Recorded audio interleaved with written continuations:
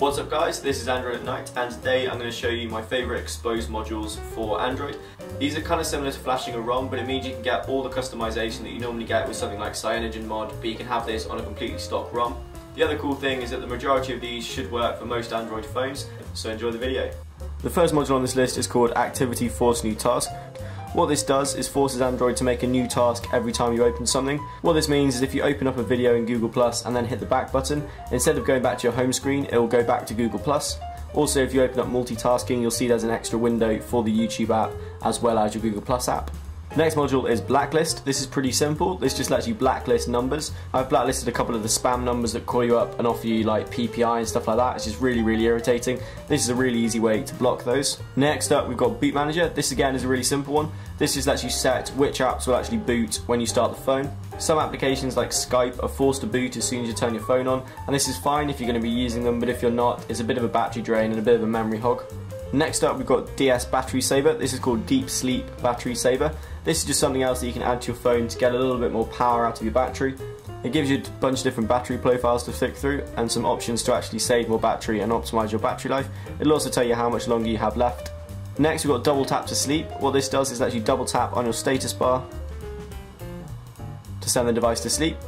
Next one is Xthema KitKat. This is one of the modules that has loads of stuff crammed in and I'm not really going to be able to do it justice in one video but as you can see you've got options to customize your status bar which includes clock color, clock position, things like that and how your um, monitors look. You've got navigation bar mods, you've got framework mods, you can do things to your power menu, for example you can have the reboot options, screen shoot options, screen record options. Next up we've got force fast scroll.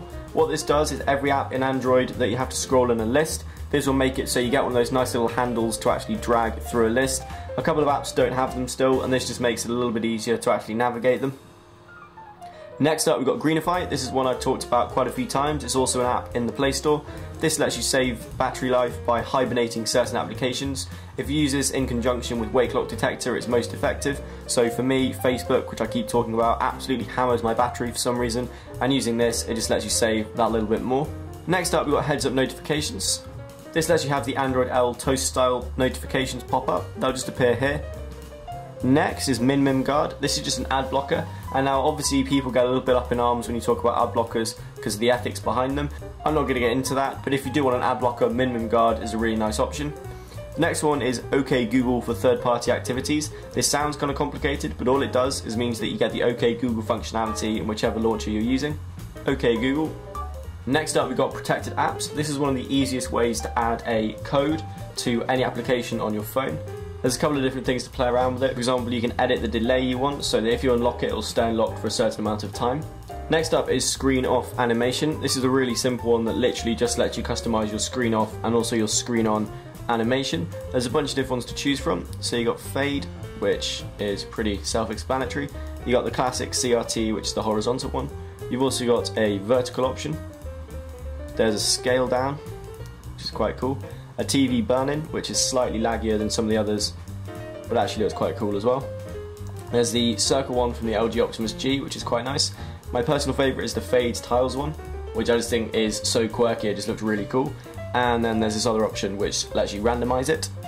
You can set how quick the animation is, so if you want it to last forever, you can have it like that. As you can see, it is pretty laggy when you get it onto the wrong timings. I found the sweet spot is around 150 to 200 milliseconds. Next up, we've got Smooth System Progress Bars. This is a weird one that I hadn't seen. I recently watched a video on Xposed modules by Android Authority, and this is one of the ones they had on there. This literally just lets you customize the system progress bar, which is something I'd never really thought about before. It lets you change the amount of sections, and it lets you change up the speed and the um, all the different widths. Also it lets you add a couple of different colours to it and the whole thing just feels a little bit smoother than with a stock ROM. So the next one is status bar scroll to top. This is another really simple one. All this does is when you're in a list, if you tap on your status bar it brings you to the top. I believe this is from I think maybe a Samsung device or a Samsung ROM but I've definitely seen it somewhere before but it's a really cool little thing to have to be able to navigate lists that little bit quicker. Next up we've got Wanam Kit. This is another one of the really big sort of customizing um, modules. So you've got options to customize your status bar so you can expand all your notifications, mess around with the clock, with the battery icon. You can decide which battery icon you want. So for example I've got the circle one. Also lets you add stuff to the power menu again. It's pretty similar to the other one I showed you, but it's good to have different ones. You've got a little bit of variety, and each of them are slightly different with what you can do to your phone. Next is Xposed gel settings, and this is if you use the stock Google Now launcher. This is actually mess around with it. So if you open the side tray here, you can see you've got a bunch of different options. So you can go into general and you can change the um, design of the launcher. So if you hit L launcher design, it'll make it look much more like Android L. You can mess around with page indicators, um, loads of little different things, certain colors for the glows, things like that. Then you've got some options for the search bar, some more customizable options for the home screen and your app drawer. It also lets you add gestures to your home screen. So basically just expands what you can actually do if you're using a stock, um, sort of a completely stock setup. And ultimately we've got Xposed torch. This is a really simple module from the same guys who did the Wanam kit. This lets you turn the LED on the back of your phone on like a torch by just holding the volume up when the screen is powered off. Which is pretty cool. And then another hold. We'll turn it off again. Finally, we've got XuiMod, which is kind of similar to the Wanam and the other app. This is just a bunch of other customizations. So you got clock stuff, battery bar, notifications, which things you can do in the other apps. But again, each one is ever so slightly different with its own themes and things like that. There's a couple of cool things you can play around with as regards a couple of animations, and there's some nice lock screen mods and things like that. It's got a couple of little cool things. For example, if you want, you can use the classic recents rather than the new recents panel. So it's just another one of those applications that gives you a little bit more customizable options on your Android device. I hope you enjoyed that guys. If there's any other Xposed modules that you think are good, drop them in the comments below for other people to find. If you enjoyed this video, please like it, subscribe if you haven't seen before. You can follow me on all my social media things in the links in the description, and I'll see you guys on Monday. Peace.